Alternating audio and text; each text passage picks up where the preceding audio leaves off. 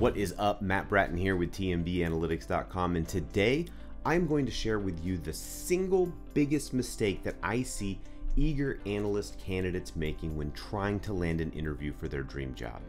Now, I've been in the analytics game for over 15 years, and I've been recruiting, hiring, interviewing, and training analysts for the past 10 years. So I've seen a lot of the good, the bad, and the ugly. And now, with hundreds of students from over 40 countries and growing, I have an opportunity to share with you all the inside scoop information so that you can avoid making these mistakes for yourself. And if you like this video, check out my next video of my top seven tips for landing an analytics interview.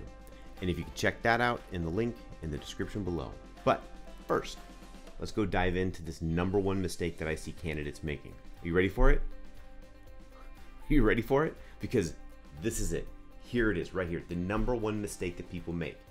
They, figuratively speaking, walk around with their hand out saying, Gimme, gimme, gimme. Okay?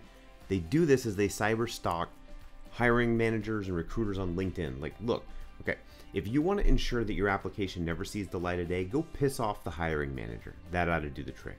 Okay? But seriously, guys, this handout could actually come in many different forms. And it's easy to see how ridiculous some of these habits are if you just swap the scenario for from a virtual environment to the real world, right? So, would you walk up to a group of people at a networking event and immediately start hounding them about your resume or asking about a job they have posted, right? If you would, I highly recommend that you check out the book How to Win Friends and Influence People, and we can talk after that because this behavior is not going to get you anywhere.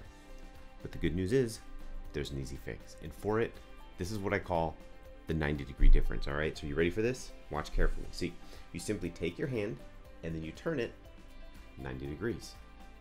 Ta da, that's it.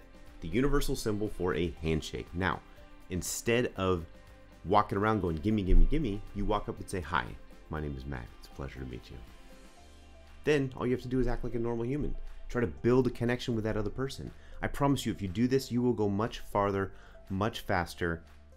Who knows? You might even build your network along the way. All right.